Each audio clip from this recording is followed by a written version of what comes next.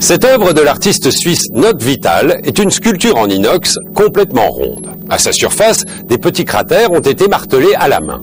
Elle s'appelle Moon et on comprend que Note Vital a voulu représenter une lune. Et cette lune, on peut la regarder de deux manières. La première est superficielle, on voit une belle boule ronde, réfléchissante. La deuxième est plus intérieure. Il s'agit d'une boule ronde qui fait réfléchir.